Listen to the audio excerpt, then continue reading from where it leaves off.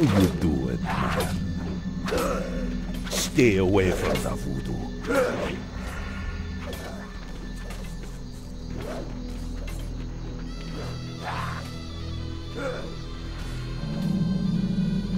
What you want? Stay away from the voodoo.